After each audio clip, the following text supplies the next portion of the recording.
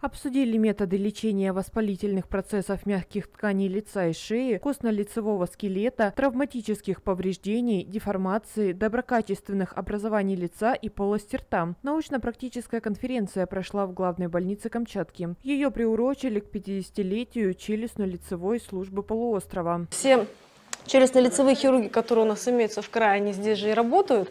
Поэтому мы сделали э, три презентации больше для людей, которые смежные службы, да, то есть со стоматологией мы сотрудничаем, какие возникают моменты, и для людей, которые, в принципе, ежедневно могут столкнуться с той или иной самой частой, как, как говорится, ходовой патологией и знали, куда обратиться, что делать.